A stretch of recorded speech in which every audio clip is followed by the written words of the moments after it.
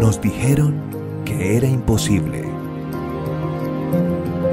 que no había forma de hacerlo, que había que buscar otra opción.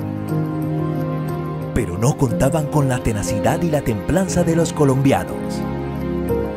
Dicen que la fe mueve montañas. Nosotros logramos atravesarla.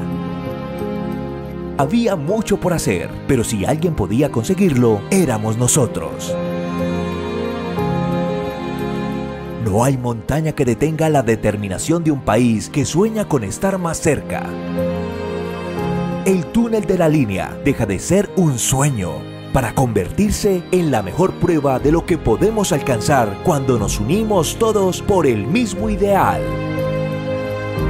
A lo largo de estos 8,65 kilómetros está el sudor, las lágrimas, el esfuerzo, la valentía, el coraje de más de 6.000 valientes hombres y mujeres que decidieron desafiar las posibilidades.